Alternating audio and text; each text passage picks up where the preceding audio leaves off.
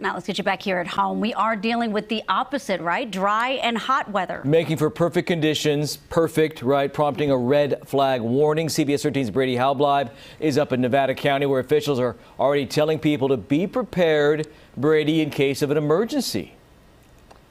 Yeah, that's right, guys. It's pretty mellow right now, but they say the wind is going to be kicking up here in the next couple of hours and into tomorrow, and that's why they want people to be prepared and be able to leave at a moment's notice. This high-low siren is Nevada County's way of saying get out. Yeah, it's a very big concern.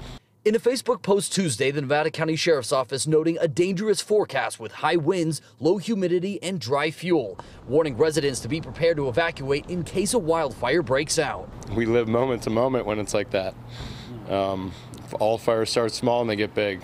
Nick Gitlin is a volunteer firefighter and has firsthand experience fighting mountain wildfires. Yeah, there's a lot of fuel here. Um, it's very unpredictable. And the terrain as well, it's very difficult to fight the fires in this area. A constant fear for many residents here during wildfire season. For Nevada City neighbor Sherry Feather, this kind of warning is worrisome, but all she can do is prepare. We have things packed, we have our RV packed, you know, if we need to get out of town. Ahead of this kind of forecast, emergency officials are urging residents to sign up for their Code Red alert system, something that gives Feather a peace of mind.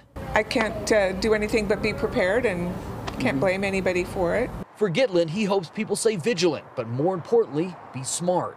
It's going to be someone dragging chains from their truck or they're going to throw a cigarette butt out the window. It doesn't necessarily need to be lightning.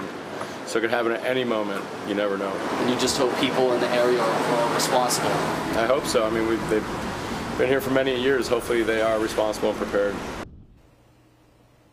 Now, all these vehicles behind me, along with other agencies in the area, have the, the ability to have that high-low siren. So if you hear it, that means to get out.